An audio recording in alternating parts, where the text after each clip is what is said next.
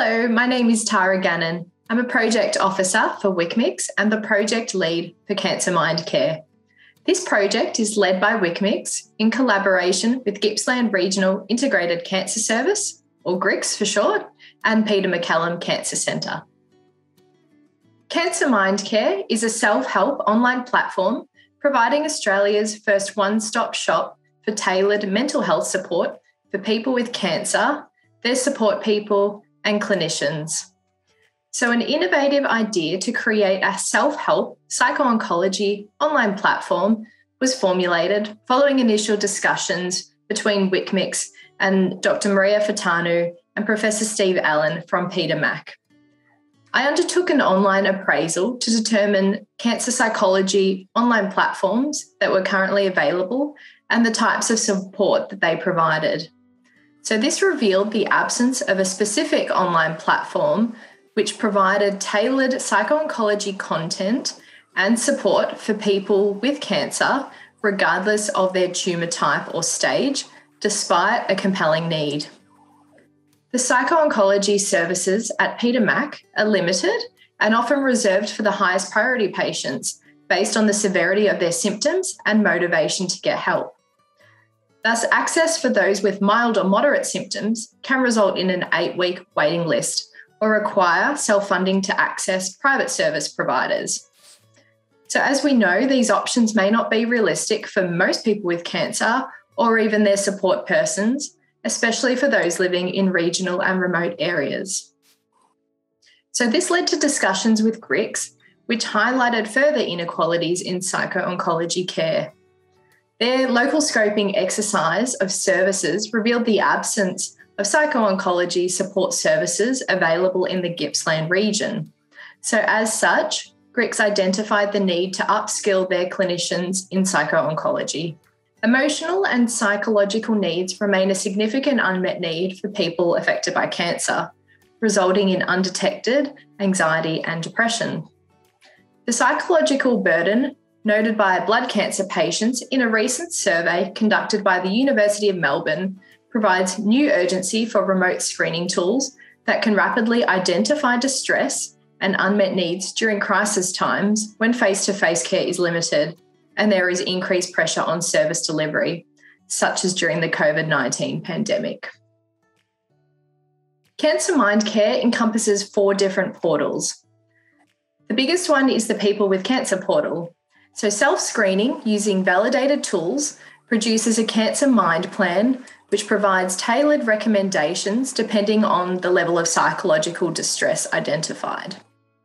So, people with mild or moderate symptoms are offered free, low intensity interventions such as self management and online mental health courses, whereas people screened as requiring high intensity psychological interventions will be directed to appropriate one on one clinician delivered psychological services which are available to them.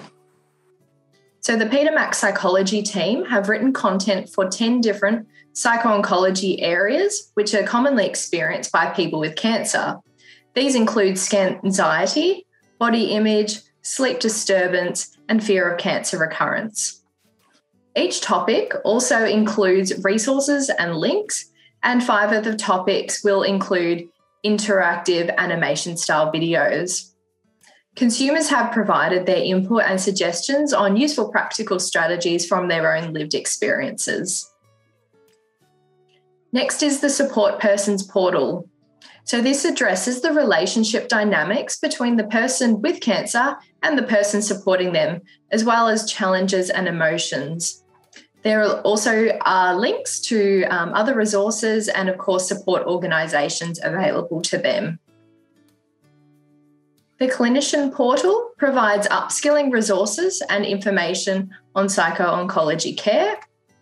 And the Aboriginal and Torres Strait Islander Communities portal collates current mental health resources and support organisations with links there is further work to be done on this piece in the next phase of the project. So now I've provided you with the background and overview of Cancer Mind Care. Let's hear more from Dr. Maria Ftanou and Steve Allen. So joining me today, I have Dr. Maria Ftanou, Head of Psychology at Peter Mac, and also joined by Professor Steve Allen, who is the Director of the Psychosocial Oncology Program at Peter Mac. Welcome, Steve and Maria. Hi. Thank you. Thanks for having so, us. You're very welcome. So, today, Steve and Maria are going to be talking to us a bit further about Cancer Mind Care. So, we're going to start off with a few questions. First one is How will Cancer Mind Care assist or improve your service delivery at Peter Mac? Steve. You know, it's really broad because what we're hoping for Cancer Mind Care is that it's essentially like our virtual shop front, if you want. So it's the place where people can come, especially people who haven't got direct access to clinicians at Peter Mac, and they can look at what's available in the psych- psychosocial sphere. So they can go there, they can look at the services we've got, they can look at services elsewhere. You know, we're hoping to build it into a place that's useful for everyone to um, get an idea of how to access mental health plus, of course, not only accessing it, all the online support too that Maria will probably say a bit more about. Perfect. No, that's that is correct. Um, and in terms of then, yeah, for Maria, so who would benefit from using Cancer Mind Care? Oh, I think um, people with cancer would benefit from using it. Carers of people with cancer and family members, friends, and clinicians. So it goes through some of the main experiences or some of the psychological issues that people with cancer experience and it provides evidence-based interventions uh, that people can work through in their own time uh, anonymously uh, at home at a time that is really convenient for them. Absolutely yeah that is that benefit of the online being being accessible, available 24 7 as well. Um, and in terms of um, the people with cancer portal, would you be able to explain a bit more in terms of the screening tools that we've got as well? So in the when once someone logs on, they have an opportunity to do a questionnaire that will talk about their how they're feeling.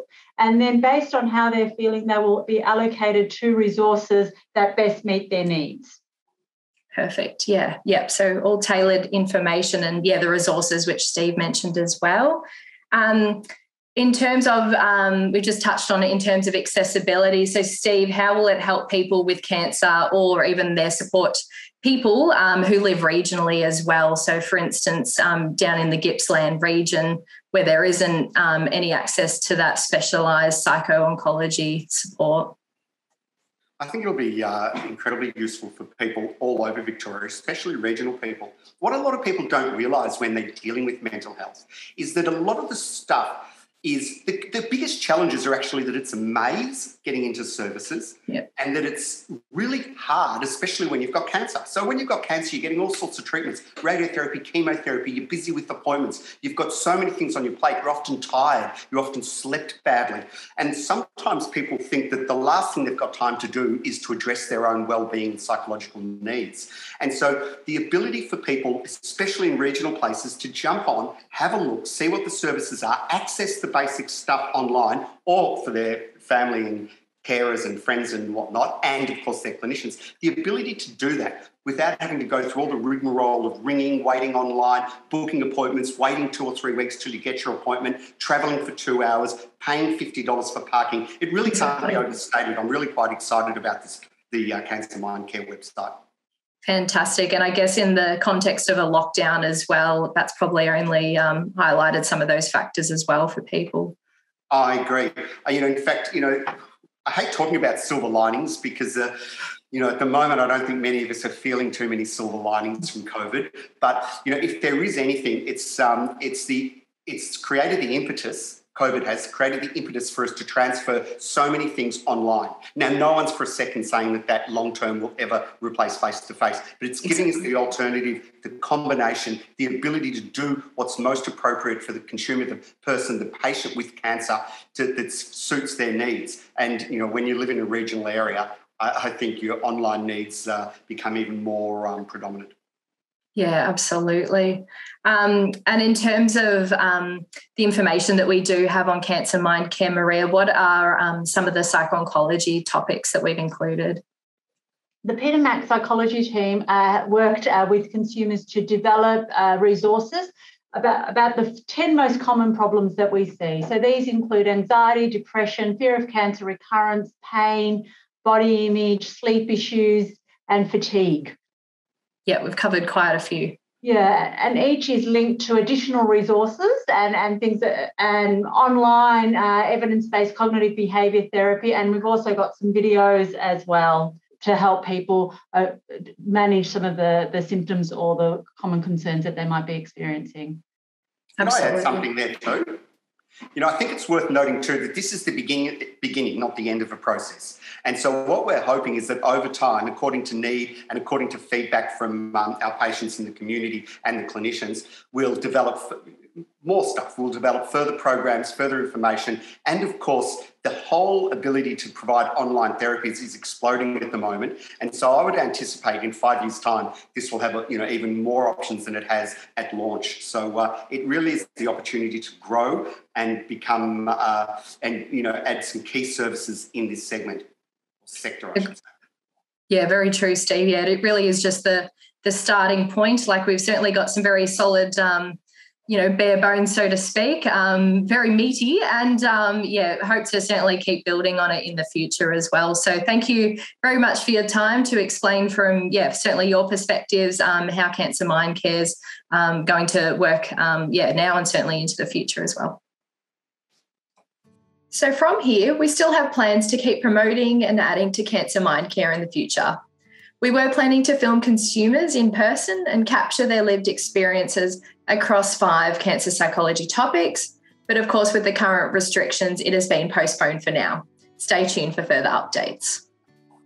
A big thank you to everyone who has been involved in this project GRICS, Peter Mac, the Cancer Mind Care Steering Committee, and the many consumers who've taken their time to share their experiences and feedback during development.